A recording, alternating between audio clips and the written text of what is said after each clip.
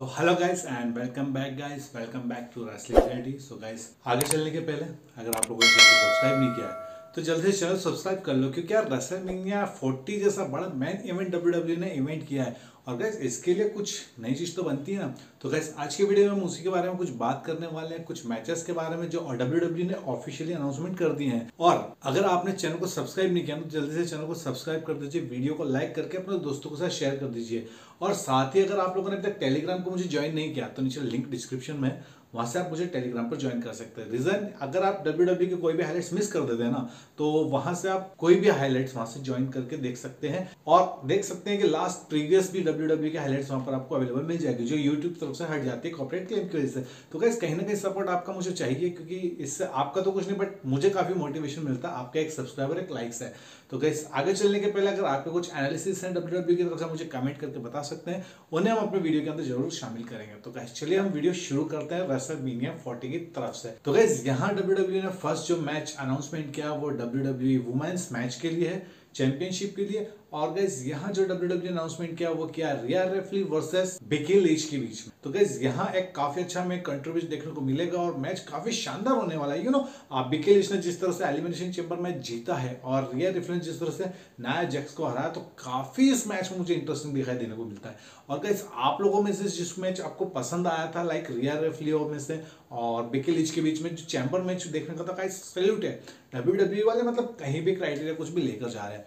तो गैस यहाँ जो मेरा प्रोडिक्शन है विनर का वो है, और डब्ल्यू डब्ल्यू की जो स्टिल चैंपियनशिप रहेगी वो रिया रेफली बट यहाँ आपका क्या कमेंट करना है, मुझे कमेंट बॉक्स में ज़रूर बताएँ, हम बात करते हैं नेक्स्ट मैच की तरफ़। नेक्स्ट मैच हमें जो देखने को मिलेगा, मिला Seth Rollins versus Drew McIntyre के बीच में। तो कैसे सैथ रोलिंग ऑलरेडी इस मैच में चैंपियन है, और ड्रू मेकिंग टायर यहाँ पर चैलेंजर बने हैं, जो उन्होंने हाल ही में डब्ल्यू डब्ल्यू का एलिमिनेशन चैम्बर में जीता था। और जीता क्या था? मैं तो कहता हूँ कि यार वो उन्हें जीता गया, क्योंकि लोकन पॉल ने जिस तरह से नॉकआउट किया था रेंडी ओटन को आई थिंक रैंडी ओटन को ये विनर होना तो इस मैच का अच्छी क्या हाइक बन सकती थी। बट क्या कर सकते कुछ चीज़ें होती है ऐसी कि हाथ में नहीं होता कंट्रोल में। और मैं भी हो सकता है कि एक एक्सट्रीमली प्लान चेंज किया गया हो, क्योंकि रैंडी ओटन का बैक इंजरी आप सभी देखा था। और हो सकता है कि यहाँ पर ड्रू मैकेन को विनर नहीं करना था बट रनर रनर अप लेकर उसे किसी तरह से उन्होंने फाइनली जिता दिया। तो गाइज़ यहाँ जो मेरा प्रोडिक्शन है वो रहेगा ड्रू मैकेन टायर तो गैस यहाँ हम एक नया चैंपियनशिप देख सकते हैं जो कि होंगे ड्रू टायर क्योंकि हाल ही में कुछ रूमर्स इस तरह से आ रहे हैं ना कि Seth freaking Rollins W W छोड़ सकते हैं।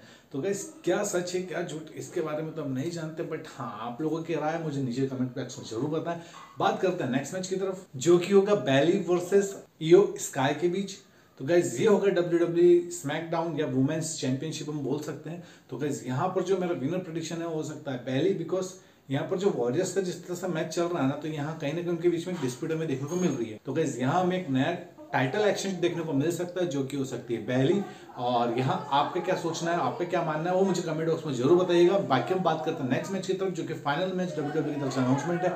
वो है Roman Reigns versus Cody Rhodes के बीच में। तो गाइज़ यहाँ स्टोरी लाइन फिनिश अभी तक नहीं हुई है।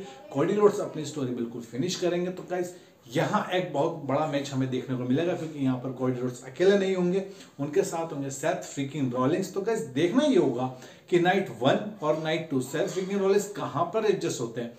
क्योंकि सैथफिकिन रोलेस और कॉर्डिरोड का एक रात में तो मैच नहीं हो सकता, मैं भी हो सकता हूँ इंजर्ड हो सकते हैं। प्रिडिक्शंस तो बहुत सारी है। पर बात करते हैं मैच की तो गाइज़ यहाँ हमें ब्लड लाइन का पूरा इंटरफेयर देखने को मिलेगा। साथ में हमें देख सकते हैं कि यहाँ पर जय उस और जेमी उस के बीच में भी डिस्प्यूट देखने को मिला है।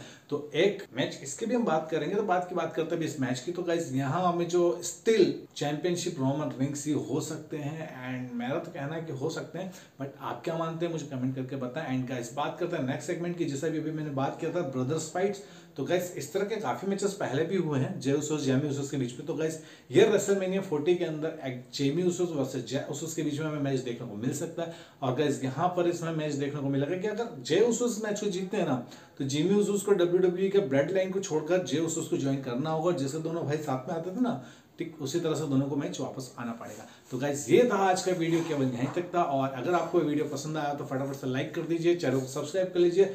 और हाँ दोस्तों का शेयर करके मत भूलिएगा और टेलीग्राम ज्वाइन कर लीजिएगा ग्रुप नीचे डिस्क्रिप्शन में। मैं मिलूँगा आपसे नए वीडियो में। तीन टेक केयर बाय